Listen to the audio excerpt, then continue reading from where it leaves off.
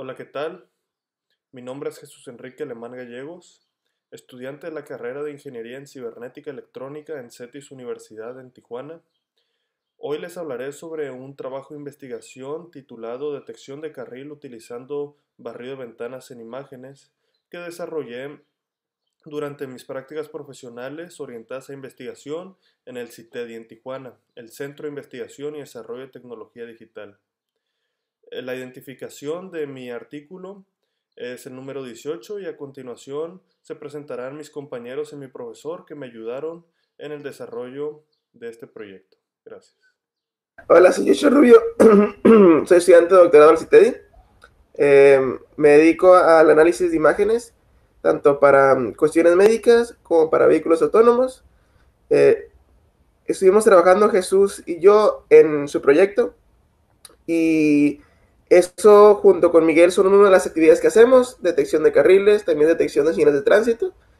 Eh, y usamos algoritmos de aprendizaje de máquina y algoritmos de, visión por computadora convencionales. Este, mi nombre es este, Miguel López y también soy estudiante de, de CITERI, de doctorado. Este, estuvimos trabajando con, con Jesús en el proyecto del vehículo autónomo. Este, el enfoque de, lo que estoy trabajando, bueno, en lo que me he estado trabajando es en detección de señales de tránsito, sería más para lo que es de vehículos autónomos. Entonces, pues, este, aquí estamos ahí colaborando. ¿Qué tal? ¿Cómo están? Gracias por su asistencia a estas conferencias virtuales. Mi nombre es Adolfo Esquivel Martínez, soy profesor del Centro de Investigación y Desarrollo de Tecnología Digital del Instituto Politécnico Nacional Estamos a cargo del proyecto autónomo, que es un vehículo a escala, y se, están desarrollando algoritmos para eh, la conducción o la asistencia a la conducción de estos vehículos. Uno de los proyectos que estuvo trabajando Jesús Alemán en el laboratorio de eh, inteligencia computacional de alto rendimiento es la detección eh, de carriles por por imágenes de video para eh, precisamente la conducción autónoma. Eh, Jesús nos compartirá su proyecto y muchas gracias. Ok, bueno, ahora procederé a presentar el proyecto de detección de carril utilizando barrido de ventanas en imágenes. Primero que nada me gustaría presentar un desglose general eh, de lo que se estará presentando. Primero se procederá con un resumen, una descripción general del proyecto. Se mostrarán los antecedentes que inspiraron y motivaron el desarrollo de este proyecto. Se presentará el algoritmo desarrollado. Posteriormente la implementación de este algoritmo. Los resultados y finalmente una conclusión. Espero disfruten la presentación. Ok, la descripción general del proyecto. Este proyecto busca el desarrollo de algoritmos de visión de computadora para detección de carriles en una vía de tránsito vehicular a escala 1 a 10, utilizando procesado de imágenes y algoritmo de barrio de ventanas. Este algoritmo se busca implementar en un vehículo igualmente a escala, elaborado por el doctor Raúl Rojas cuando trabajaba en la Universidad Libre de Berlín. Este pequeño vehículo a escala se, le denomina autónomos y cuenta con una cámara de profundidad que también cuenta con cámara RGB, con la cual se estará captando la señal para poderla procesar y hacer que este vehículo pueda posteriormente desenvolverse en el carril a escala.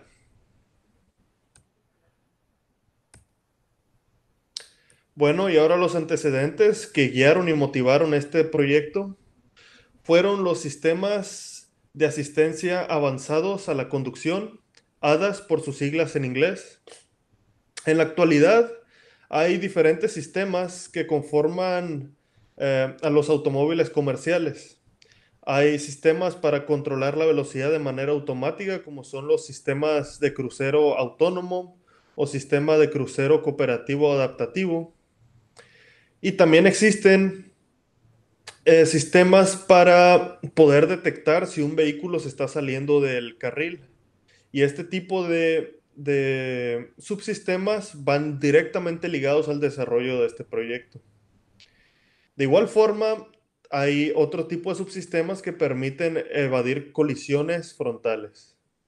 Esta imagen que se muestra en la, en la pantalla es muy interesante, pues muestra que en el pasado se tenía una, una noción principalmente sobre el objetivo básico de un automóvil, que es llevar a sus pasajeros de punto A a punto B, con muy poco sensado. Posteriormente, en el presente, se busca añadir cada vez más y más subsistemas como los mencionados que se ayudan por medio de sensores para mejorar la calidad de conducción de las personas. Y se espera que en el futuro próximo la gran cantidad de subsistemas se coordinen de tal manera que se logre una autonomía total. Aquí muestro cuatro algoritmos que se han utilizado para resolver el problema que se está tratando en la actualidad. Cada uno ataca la problemática de manera distinta y todos tienen sus ventajas y desventajas. Aquí se tiene el algoritmo Gold que utiliza detección a base de bordes. El algoritmo Ralph busca controlar la posición lateral del vehículo, la cual es una etapa posterior a la detección ya que se está aplicando un sistema de control para mantener al vehículo en posición. El algoritmo JARF se basa en el modelo geométrico de la vía para poder llevar a cabo la detección de carril. Y el algoritmo Aurora se lleva a cabo utilizando cámaras RGB que apunten al suelo para poder considerar el color de las vías y saber si el vehículo se encuentra dentro de estas. Eh, este algoritmo pues, podría ser bien aplicado, sin embargo, los requerimientos de hardware hacen que sea costoso y aparte vulnerable a las condiciones de conducción en la vida real.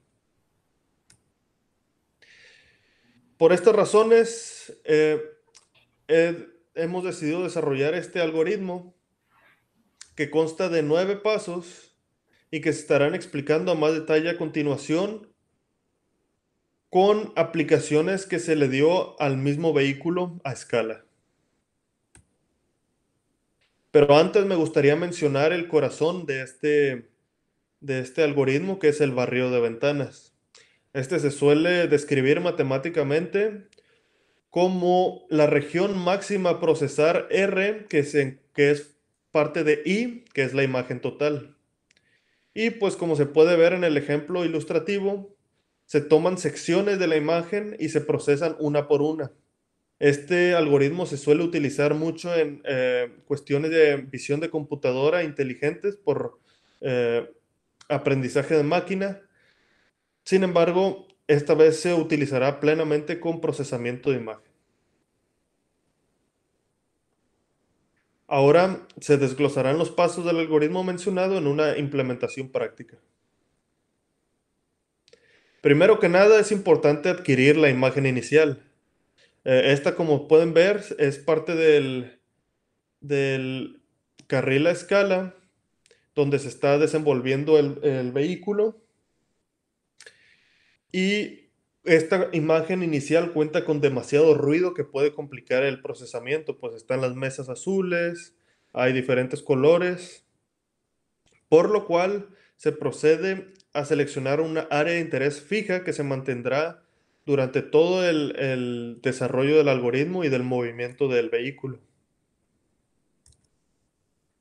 Una vez que se ha seleccionado un área adecuada, se procede a hacer una transformación de perspectiva llamada Bird's Eye, que permite mitigar esa profundidad que se miraba anteriormente y así facilitar el procesamiento de la imagen como si fuera de dos dimensiones plenamente. Eh, una vez se ha cambiado la perspectiva, se aplica un filtro gaussiano para eliminar detalle y facilitar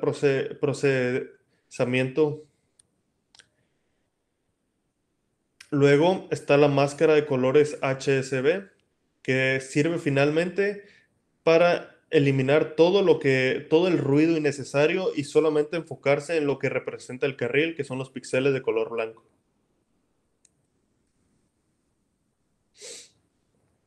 Esta es una parte fundamental en el algoritmo, pues con la generación del histograma para detección del carril, se obtienen los picos máximos de cada uno de los valores que se obtuvieron al sumar cada uno de los valores de la columna de la imagen. Eh, cuando se obtienen los picos, la posición de los picos se obtiene la posición en X, donde empiezan los carriles, y así es más fácil modelar y poder aplicar el algoritmo de barrido de ventanas. El algoritmo de barrido de ventanas consiste en ir desplazando secciones rectangulares a lo largo de la imagen para encontrar, encontrar eh, las, las líneas que delimitan el carril y así poderlo modelar por medio de una interpolación polinomial como se muestra aquí en la imagen. Una vez se tienen las líneas modeladas, ahora es posible generar una línea central que representa la posición o la trayectoria que el vehículo debería ir siguiendo para de esa manera mantenerse dentro del carril. Y finalmente, tomando en cuenta el centro de la cámara como si fuera el centro del vehículo, se obtiene un ángulo de giro o de corrección a partir de la línea imaginaria que representa la posición correcta en donde el vehículo debería de estar centrado y alineado. Eh, se obtienen tres puntos en esa línea para así obtener un promedio ponderado del ángulo de giro y tener una mejor estimación de cuánto debería de girar para corregirse. Bueno, aquí se muestran los resultados de una implementación.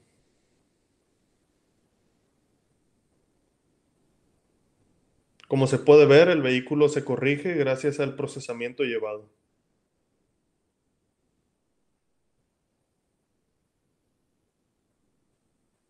Y bueno, tomando en cuenta la métrica del error porcentual con respecto a la cantidad de cuadros que se analizan, eh, para realmente saber qué tan efectivo es el algoritmo detectando eh, las vías del carril. Se controló al vehículo de manera manual y se fueron haciendo diferentes maniobras para visualizar el error porcentual. Y se puede ver que cuando los movimientos son suaves, ya sean de aceleración o de cambio de carril, el error porcentual es mínimo. Sin embargo, al hacer movimientos abruptos, ya sea de aceleración o de cambio de carril, el error empieza a aumentar, lo cual se pudiera mitigar con mejor, mejor unidades de procesamiento y mejor eh, dispositivo de sensado. Finalmente, en la conclusión, me gustaría mencionar que se logró el objetivo planteado. Se logró llevar a cabo la detección de líneas del carril y se logró llevar a cabo la generación de una trayectoria deseada a partir de la detección que se llevó a cabo. Y también se generó una señal de corrección que posteriormente puede ser parte de un algoritmo de control eh, más robusto que permita al vehículo desplazarse en distintos tipos de trayectorias delimitadas por, en este caso, líneas blancas. Eh, también me gustaría añadir el hecho de que este tipo de algoritmos puede ser mejorado, implementado con algoritmos de inteligentes en donde se pueda disminuir el error y adaptar a, diferentes condiciones. Finalmente, me gustaría agradecer al Centro de Investigación y Desarrollo de Tecnología Digital del Instituto Politécnico Nacional por darme la oportunidad de desarrollar mis prácticas profesionales, particularmente al doctor Oscar Humberto Montiel Ross, director del proyecto de investigación SIP 2019-0053, Sistemas Inteligentes Cuánticos, parte 1, por recibirme en su proyecto bajo la supervisión del maestro en ciencias Adolfo Esquivel Martínez, profesor y colaborador del mismo, junto a mis compañeros Joshua Rubio y Miguel López Montiel. Gracias por su atención y aquí dejo mi contacto.